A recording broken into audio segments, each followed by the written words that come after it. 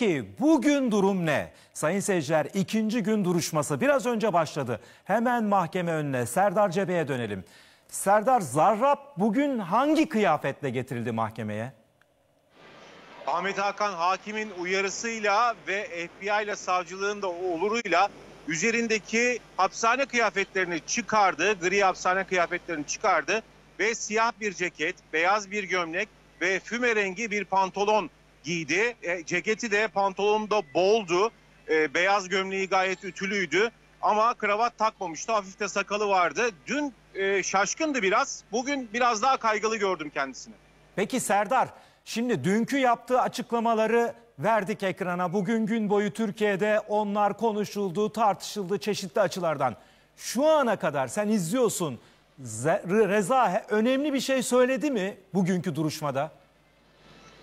Dünkü siz sizin biraz önce söylediğiniz para olayının nasıl gerçekleştiğini bugün anlatıyor.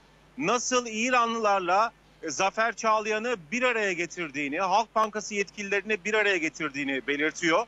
E, Şu anda mahkemede onları anlatıyor ve e, özellikle kendisine yatırılan bütün paranın Zafer Çağlayan'ın da anında gördüğünü ve kendisine ara ara bu gelen paralarla ilgili sunum yapıldığını belirtti Rıza Zarrab. Serdar